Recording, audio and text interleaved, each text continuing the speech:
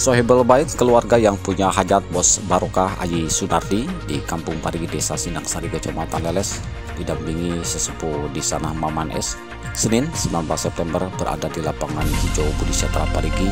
Aji menjelaskan dalam rangka syukuran diisi dengan open turnamen volleyball putri diikuti 18 tim nanti dibungkas dengan tablik akbar Islamiyah. Total hadiah 10 juta rupiah plus 500 ribu rupiah untuk tim yang masuk semifinal. Technical meeting akan digelar pada hari Selasa 20 September, kick off atau dimulainya turnamen pada hari Rabu 21 September siang. Berikut penuturan Aji Sunardi Bos Barokah. volleyball sama murid ya Tablik Akbar. kita beli akbar ya. Kalau open turnamen yang sudah daftar berapa tim? Kurang lebih 19 ya 19. Hadiahnya bos ya itu lumayan lah berapa?